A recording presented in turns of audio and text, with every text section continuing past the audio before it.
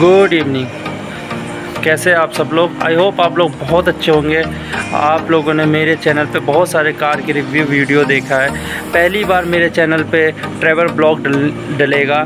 जो भी वो ट्रैवल ब्लॉग जो है, वो भी इंटरनेशनल ट्रैवल ब्लॉग है, जो मैं दिल्ली से बैंकॉक का ट्रैवल करने वाला हूँ। इसमें आपको कैसे कैसे ट्रैवल किया जाएगा, कैसे कैसे इमिग्रेशन है, क्या है, सब कुछ आपको मैं बताता रहूँगा साथ के साथ। आज डेट है ट्वेंटी नाइन ट्वेंटी नाइन रात के बारह बज गए। अब हम लोग एयरपोर्ट के लिए निकल रहे हैं। यहाँ से हम लोग पाँच जने जाएँगे, जो रास्ते में मुझे कोसाम्बी में चार जने मुझे ज्वाइन करेंगे। यहाँ से मेरा भाई मुझे कोसाम्बी तक ड्रॉप करेगा गाड़ी से। वहाँ से हम लोग कैब लेके वहाँ से हम लोग एयरपोर्ट जाएँगे। Indira Gandhi international airport terminal three पे। थैंक यू अब हम लोग गाड़ी में बैठ गए और ये मेरा छोटा भाई जो मुझे कोसाम्बी एयरपोर्ट कोसाम्बी तक छोड़ने जा रहा है, वहाँ से हम लोग कैब लेके और मेरे जो चार फ्रेंड्स हैं, वो मुझे जो ज्वाइन करेंगे, वो वहीं से मुझे ज्वाइन करेंगे। वहाँ से हम लोग कैब लेके एयरपोर्ट जाएँगे। बिल्कुल अंधेरा हो चुका है बाहर। रात के बारह बज चुके हैं। बिल्कुल सोसाइटी एकदम सुनसान हो चुका है। और अभी हम अपने सोसाइटी से बाहर निकल के अब यहाँ से हम टर्न लेके अब हम जा रहे हैं कोसाम्बी के लिए। कोसाम्बी में हम जाएँगे रेडिसन ब्लू होटल। उसी वहीं पे हमारे सारे फ्रेंड्स हमें ज्वाइन करेंगे। सुबह पाँच बजे की हमारी फ़्लाइट है। पाँच बज के पच्चीस मिनट की।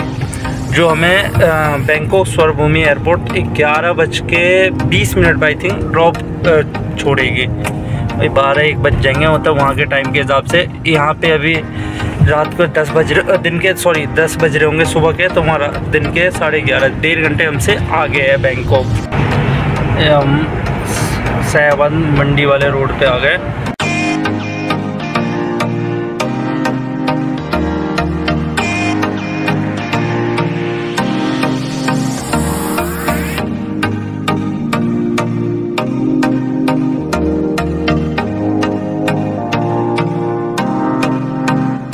आप सीधा रास्ता यूपी गेट के लिए और इधर आप मुड़ जाएँगे तो आप आनंद विहार के लिए चले जाएँगे। हम सीधा जा रहे हैं रेडिसन ब्लू के लिए, जो यूपी गेट के पास ही है, कोसाम्बी में। ये हमारे सारे साथी, ये रमेश भाई जो सबसे लेट लफीफ है। सबसे ज़्यादा लेट ही रिक्वेस्ट होता है। और ये हमारे कमलेश भाई और ये गौरव भाई। क्या हाल है भैया? चल चल बढ़िया भैया। तो भाई से वीडियो बना रहे कौन है साथ में? हेलो सबसे ज़्यादा लेट आने वाले बंदे। कर ठीक है उसके बाद ये। अब ये हम ऊबर के अंदर बैठ गए कैब के अंदर। और एक दूसरी कैब हमारी वो आगे जा रही है। एक कैब ये है इसमें मैं और कमलेश भाई बैठे हुए हमारे। ये हमारे ड्राइवर अंकल। और ये हम कोसाम्बी से अब निकल गए यूपी गेट की तरफ़। और यहाँ से होते हुए हम T three Indira Gandhi international airport के लिए चले जाएँगे। रात के टाइम में पूरा दिल्ली सुनसान गिनी चुनी गाड़ियाँ, जहाँ पे पैर रखने को भी जगह नहीं मिलती, वहाँ रात में बिल्कुल सुनसान मिलता है।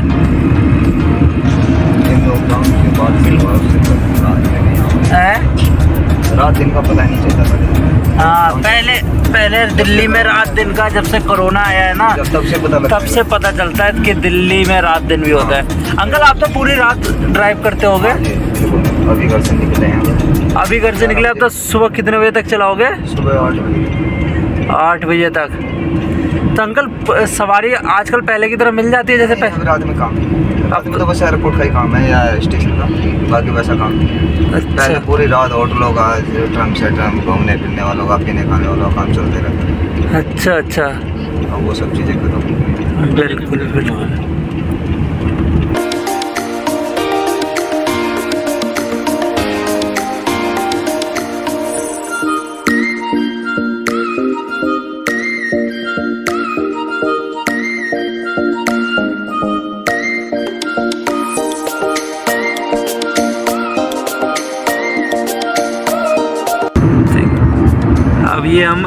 सिटी में आ गए हैं। ये एरो सिटी अंडरपास के अंदर से हम निकल रहे हैं। क्या लाइटिंग वाइटिंग और प्रिंट प्रिंट किया हुआ है। बड़ा अच्छा डिज़ाइन वगैरह किया हुआ है इस पर अब मतलब दिल्ली के अंदर किसी भी जगह चले जाओ। पहले जैसा माहौल बिल्कुल देखने को नहीं मिलता। पहले क्या रौनक होती थी, रोड पे इस टाइम लोग बाग होते थे। लेकिन अब बिल्कुल खाली खाली दिल्ली एकदम। ये पेलमोन होटल एरो सिटी के अंदर। ये सारे होटल्स बने हुए हैं यहाँ पे, एयरपोर्ट के पास में। हम टर्मिनल थ्री के पास आने वाले हैं तो उसी के पास जो बाहर से लोग आते हैं, उनके रोकने के लिए यहाँ पे बहुत सारे होटल्स बने हुए हैं एरो सिटी के अंदर। क्या ग्रीनरी है यहाँ पे। अलग ही। ये हम टी थ्री पे आ गए। जो इतना ग्रीनरी मतलब इतना आपको यहाँ आके ऐसा कहीं भी नहीं लगता कि आप इंडिया में कहीं पे हो। ऐसा लगता है कहीं बाहर फॉरन में आ गए। अच्छा। आज है। इतनी ना मतलब रोड चौड़े चौड़े ग्रीनरी अच्छा चमकता हुआ। और ये हमारा सब आप लोगों को दिख रहा होगा सामने टर्मिनल टी थ्री इधर इधर इधर इधर ज़्यादा करके इंडिया से दिल्ली से international flight terminal T three से ही जाती है। सारी यहीं से जाते हैं इंटरनेशनल और कहीं से नहीं? ये है सामने एयरपोर्ट की पार्किंग बनी हुई है। एयरपोर्ट के। बहुत बड़ी पार्किंग है। एयरपोर्ट पे पहुँच गए। और यहाँ से सामने से ये एंट्री है। अंदर जाने के लिए। अभी हमारी जो दूसरी टैक्सी है, वो अभी पीछे रह गई है, वो अभी तक आई नहीं है। यहाँ से अलग अलग कई गेट बने हुए हैं। यहाँ से आप लोग एंट्री करके अंदर जाएँगे। फिर अंदर जाके आपका चेकिंग काउंटर है। उसके बाद जिस फ़्लाइट से आप जा रहे हो, उनके काउंटर है। और वहाँ से आपको अपना टिकट और करके फिर अंदर इमिग्रेशन के लिए जाना पड़ेगा। पिछली बार जब हम दुबई गए थे तो उस टाइम मैंने ब्लॉग्स नहीं बनाए थे, लेकिन वहाँ पर ना ज़्यादा कोई पूछताछ नहीं करते इमिग्रेशन में से पासपोर्ट वगैरह देखते और ओके कर देते। हैं ये हम एयरपोर्ट के अंदर आ गए। अभी हर कंपनी के फ़्लाइट्स के अपने अपने काउंटर्स बने हुए हैं। अभी हमें इंडिगो के काउंटर्स पे जाना है। अभी हम देखेंगे कहाँ पे है। फिर वहाँ पे हम अपने लगेज वगैरह जमा करेंगे। उसके बाद फिर हम अंदर एंट्री करेंगे। उसके बाद फिर हम इमिग्रे इमिग्रेशन के लिए जाएँगे। ये आपके लगेज यहाँ पे ड्रॉप किए जाते हैं। यहाँ पे आप अपने लगेज ड्रॉप करके फिर के इसके बाद यहाँ से आप इस तरफ़ को प्रस्थान करेंगे। यहाँ पे आपके पासपोर्ट पे स्टैंप लगता है, इमिग्रेशन होता है। उसके बाद फिर अंदर काउंटर है।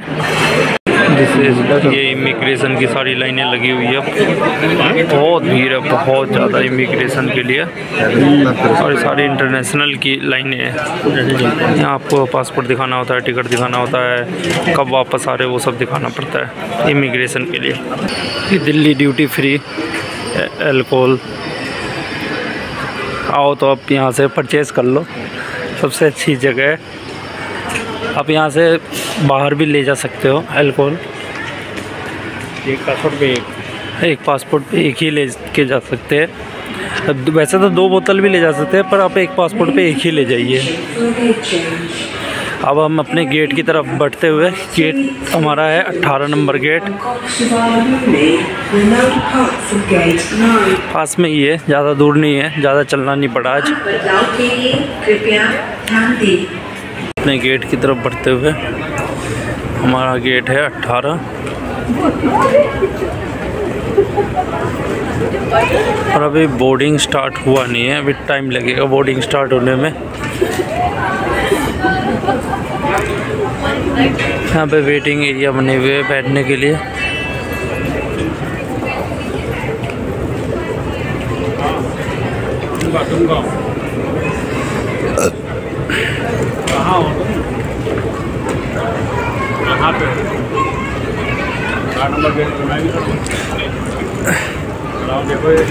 ये हम अपने अठारह नंबर गेट पे आ गए। यहाँ पे अभी बोर्डिंग स्टार्ट हुई नहीं है। ये अब हमने बोर्डिंग कंप्लीट करके अपने फ़्लाइट की तरफ़ बढ़ते हुए।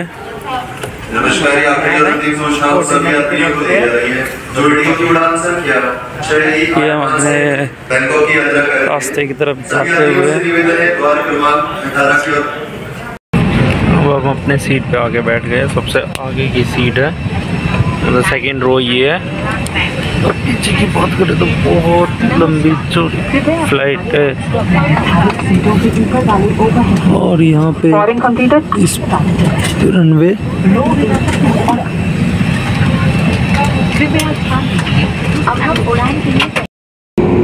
भी धीरे धीरे फ़्लाइट ने अपनी रफ्तार ली है। पूरे स्पीड के साथ रनवे तरफ़ उड़ान के लिए जाते हुए। और ये अब रनवे से उड़ान बनने को तैयार फ़्लाइट अपने पूरे स्पीड के साथ आगे की तरफ़ बढ़ते हुए लाइन लगी रहती है रनवे पे, एक के बाद एक के बाद एक फ़्लाइट की उड़ान के लिए।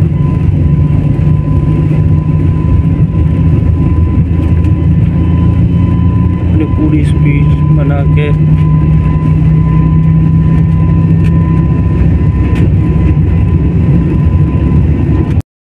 फ़्लाइट के अंदर है। अब बादलों के बिल्कुल ऊपर आ चुके हैं। अब आप लोग देख रहे होंगे, नीचे पूरा बादल दिख रहे हैं। सूरज भी हल्का हल्का मध्यम, लाल लाल हो चुका है आसमान। सूरज भी निकलने को तैयार है। और बादल को चीरते हुए फ़्लाइट ऊपर की तरफ़ जा रही है। और नीचे बिल्कुल भी इस टाइम कुछ नहीं देख रहा, बिल्कुल अंधेरा, काला काला बादल हो रखा है। आपको यहाँ पे पूरी लैंडिंग दिखाता हूँ। ये फाइनली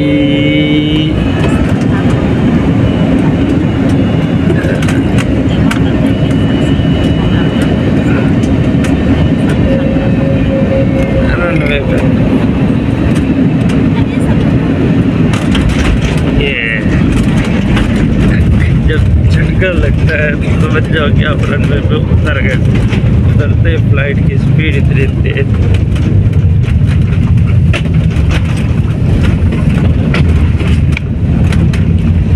धीरे धीरे जो स्पीड होती है, उसको ऊपर से ही मैनेज करते करते करते करते करते करते जब नीचे उतरते हैं तो बहुत दूर तक भागते हुए जाती है प्लेन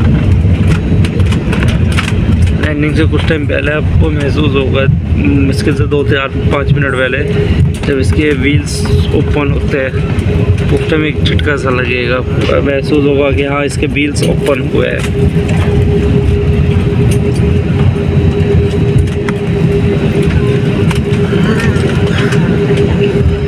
ये यहाँ का सबसे बड़ा एयरपोर्ट है Suvarnabhumi airport Suvarnabhumi Suvarnabhumi airport sorry तो फुल्ले में मुझे भी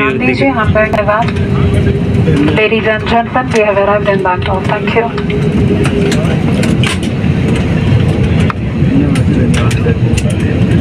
वहाँ एयरपोर्ट है।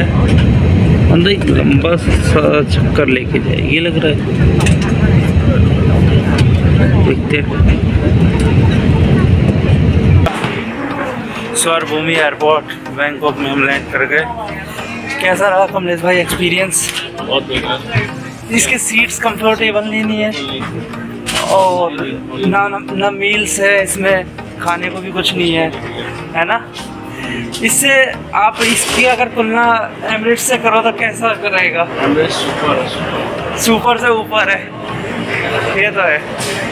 ये आप सौर भूमि एयरपोर्ट देख रहे हैं बैंकॉक का, जो आज का टेम्परेचर है 29 डिग्री यहाँ का भी। कैसा रहा फ़र्स्ट फ़्लाइट आपकी? ऊपर से ऊपर। ठीक ही है। यहाँ से अपना बैग अपना क्लेम कर लिया। ये सब लोग, हम अपना बैग क्लेम करके अब आराम से हम यहाँ बैठे हुए हैं। वहाँ पे जो सामने है सिम यहाँ का सात दिन के लिए 200 बात में मिल रहा है। महँगा है। मैं पहले ही करा के आया हूँ। फाइनली हम लोग बस में आ गए अब ये बस से हम लोग यहाँ से होटल के लिए जाएँगे। होटल यहाँ से देखते कितना दूर है। गौरव भाई बस में आया हम दिस इज़ ए पटाया सिटी अभी तो इस टाइम तो बहुत शांति है इस शहर में। अभी जैसे जैसे रात ढलती जाएगी मतलब शाम होता चला जाएगा, यहाँ पे अलग ही देख व्यू देखने को मिलता है। यहाँ पे इंडियन रेस्टोरेंट्स भी है। मैंने अभी पीछे एक देखे थे मराठी मराठी गुजराती इंडियन रेस्टोरेंट ये होटल सब वगैरह बने हुए हैं। सारा होटल है। बहुत सारे एक्सचेंज के भी है, ये रेस्टोरेंट वगैरह बने हुए हैं। आपको अलग अलग वैरायटी के खाने यहाँ पे मिल जाएँगे इंडियन थाई मेक्सिको सारे वैरायटी के खाने मिल जाए। प्लीज़ पूरा देख के खाना। यहाँ क्या क्या मिला के दे दे, कुछ पता नहीं होता। Our hotel view in front it's forty मंजिल, चौदह मंजिल का ये इमारत है।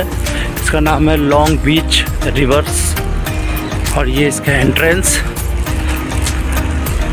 हमारा जो रूम है वो फोर्टी फ्लोर पे ही है। हाँ फोर्टी फ्लोर पे ही है। बहुत हाइट है। This is entrance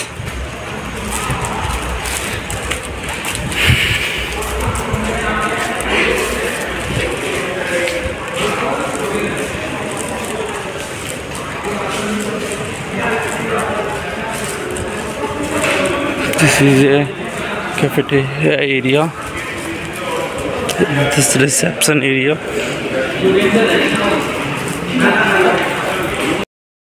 this is our room तुम खुराना का चले जाओगे तो यहाँ रहोगे मेरे ये टीवी मैं चला जाऊँगा ये ड्रेसिंग टेबल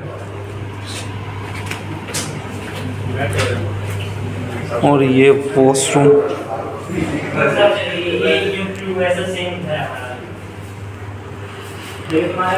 अच्छा है बढ़िया है।